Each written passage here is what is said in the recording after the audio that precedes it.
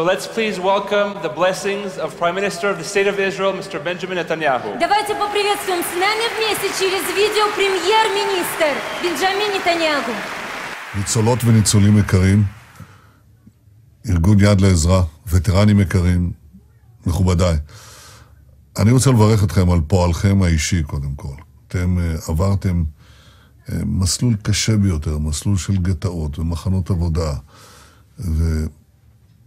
ומחנות ריכוז, ויצאתם ושרדתם והגעתם לארץ ישראל והקמתם משפחות, והילדים שלכם היום והנכדים שלכם הם חלק אורגני ממדינת היהודים, בונים את המדינה, מבצרים את המדינה, מפתחים את המדינה. אני רוצה לברך אתכם על מפעל חייכם שהוא מפעל חיינו. שאו ברכה.